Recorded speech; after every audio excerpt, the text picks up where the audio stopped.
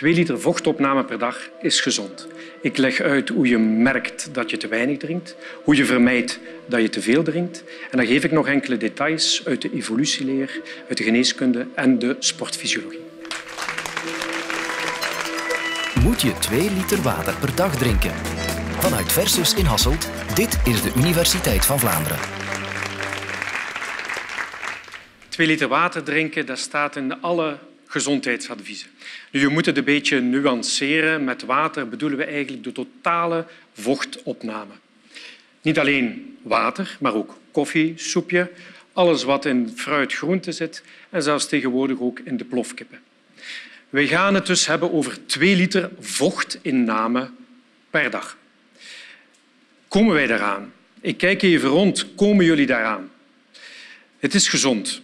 Dat hebben we al gehoord. Wel, wetenschap heeft aangetoond dat één op drie, één op vier van de hier aanwezigen daar niet aan komt. Zij drinken te weinig. Hoe komt dat? Ze hebben ook nooit dorst. Daarover gaan we het even hebben. Dorst is een zeer oud overlevingsinstinct. 340 miljoen jaar geleden, toen wij dan als amfibie uit de zee het land opkropen, was de zon onze grootste vijand, uitdroging. Wat wil dat zeggen, uitdroging? Ga even mee met mij naar de Dode Zee. Dat is eigenlijk een meer. Heel veel water is eruit verdampt en je hebt een hoge concentratie aan minerale zouten. Stel nu dat daar een bacterie toch in die dode zee belandt. In zijn celwand heeft hij een bepaalde concentratie.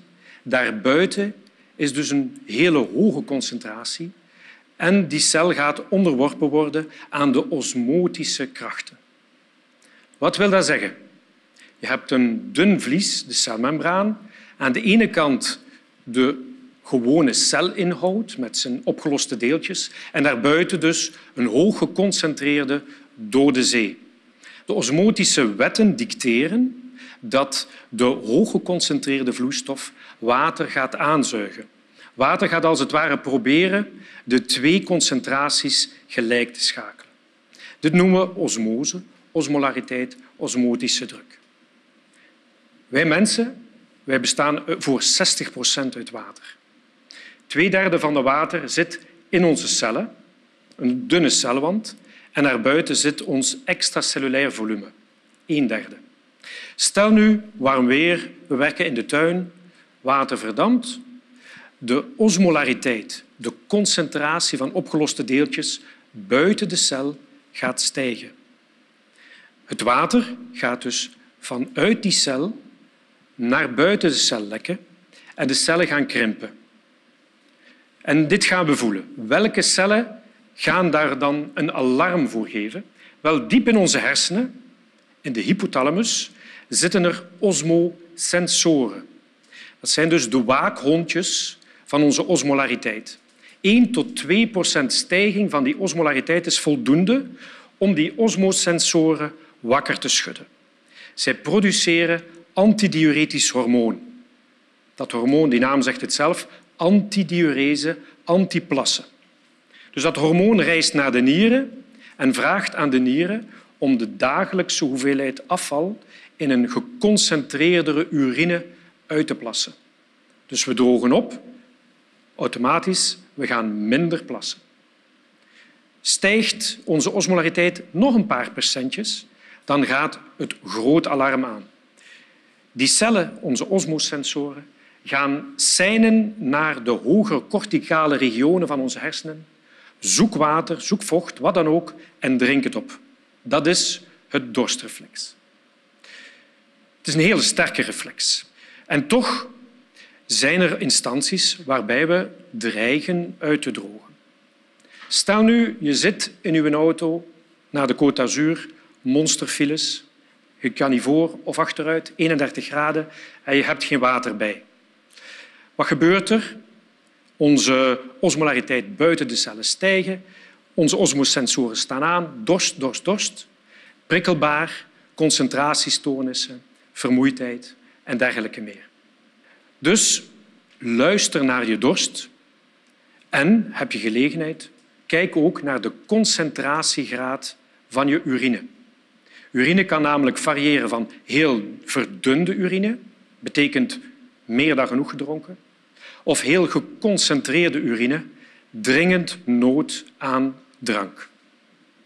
Dorstreflex, 340 miljoen jaar geleden ontstaan, heeft in die evolutieleer nog een aantal bijeigenschappen gekregen die blijkbaar ook overleving bevorderden. Eén daarvan is, als we namelijk uitdrogen, gaat ons volume buiten de cel dalen, gaan we dus een neiging hebben tot lager bloeddruk of flauwvallen. Datzelfde antidiuretisch hormoon heeft receptoren bijgekregen in de bloedvatwand. Dus de bloedvaten gaan een klein beetje samenknijpen. De bloeddruk blijft stabiel of kan zelfs een beetje stijgen. Tweede, hypothalamus, de hypofyse. Dat is ook de oorsprongsplaats van het adrenocorticotroophormoon. Nog zo'n hormoon dat reist naar de bijnieren en daar gaat cortisol, het stressresponshormoon, gestimuleerd worden. Dat lijkt ook wel in de evolutie gezien heel handig. Als je dorst krijgt, je moet knokken naar het water en dergelijke meer. Nu, dat cortisolhormoon, heel veel goede eigenschappen, zal de lever aanzetten tot productie van suiker en zal ook een klein beetje vet opstapelen. Denk eens eigenlijk aan kameel. Is gewoon om heel veel dorst te lijden. Wel, die gaat in zijn bult vet opstapelen. Het verbranden, misschien niet zo'n goed woord, het metaboliseren van vet, gaat uiteindelijk eindigen in CO2, wat we uitademen, en water. Dus wij kunnen een beetje ons eigen water produceren. Dus als ons dorstsysteem geprikkeld blijft langdurig, dan zal dat antidiuretisch hormoon een klein beetje die bloeddruk verhogen, zal het cortisolhormoon de lever aanzetten tot loslaten van suiker, zal onze glycemiespiegel een beetje verhogen. En zullen we dus ook neigen naar opstapelen van vet. Niet in een bult, maar rond onze navel. Vandaar dat in alle dieetadviezen wordt aangeraden om veel te drinken. Je zou zeggen, verzadigingsgevoel gaat weg. Je kan ook zeggen, door veel te drinken vermijd je het drinken van suikerhoudende uh, frisdranken. Maar ook, je zou een gezonder metabolisme kunnen krijgen. Zijn daar harde bewijzen van? Het zijn hele moeilijke studies. Jarenlang mensen stimuleren tot voldoende drinken en dan kijken of je genetische voorbeschikking kunt verslaan alleen met drinken. Voorlopig geen bewijzen. Dus op dit moment raden wij enkel aan om extra veel te drinken bij mensen met nierstenen of frequente blaasinfecties. En voor alle anderen, drink genoeg, kom minstens aan die twee liter, luister naar je dorst en kijk naar de kleur, de concentratiegraad van je urine. Kunnen we te weinig drinken? Dat heb ik aangehaald. Kunnen we te veel drinken? Ook dat kan. Vrij moeilijk. Wij moeten dan bepaalde situaties creëren. Stel nu dat je heel weinig eet. De nier heeft weinig afval om te plassen, gaat dan ook minder neiging hebben om te plassen. En dan ga je een keer extra veel drinken. Maar dan heb ik het over 5 liter, 10 liter per dag.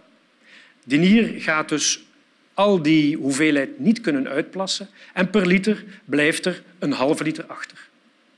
Dus nu gebeurt het omgekeerde. De concentratie buiten de cel, de osmolariteit buiten de cel daalt. In de cel blijft die nog een tijdje constant. Maar water gaat dus verhuizen van buiten naar binnen de cellen. Al die cellen gaan zwellen en er is één probleem, de hersenpan. Hersenen gaan zwellen, maar kunnen niet door die hersenpan. Dat geeft dus ook weer die typische klachten van mensen die te veel drinken. Sufheid, moeilijke gang. En zo heeft onze ex-wereldkampioen wielrennen Freddy Maartens het is gepresteerd. Hij had in zijn hoofd gekregen om zijn buikje kwijt te raken door extra veel te drinken, niet te eten. En hij dronk tot 13 liter per dag. Dus wat gebeurt er? Spoedopname, dringende zoutinfuus om dan het udeem van de hersenen weer te kunnen verminderen. Vroeger zagen we het meer, nu een beetje minder bij de duursporters, marathonlopers, triatleten, die aangespoord worden om extra veel te drinken door hun sportcoaches, maar hun nieren hebben door de stress, door neiging tot lage bloeddruk, hebben die geen zin om veel te plassen. Dus zij zullen ook geleidelijk aan hun osmolariteit verdunnen, hersenudeem gaat ontstaan en die typische wankele gang, die sufheid en die dramatische aankomsten. Dus ik kan samenvatten voor die personen sportdranken, daarnet al aangehaald, suiker, water en zouten, want je transpireert en verliest water met zouten. Drink volgens je dorst. Drink niet meer dan dat je het zelf aanvoelt. Dus ik kan samenvatten. Is twee liter water drinken, twee liter vochtopname per dag gezond? Ja, het is gezond. Je zet het dorstreflex uit. Je zou mogelijk betere bloeddruk hebben, minder suiker hebben, minder vetopstapeling hebben. Kan je te weinig drinken als je luistert naar je dorst? Als je kijkt naar de concentratie van je urine? Niet. Kan je te veel drinken? Inderdaad, als je extreme inspanningen levert en meer dan vijf tot tien liter water per dag drinkt. Dank u wel.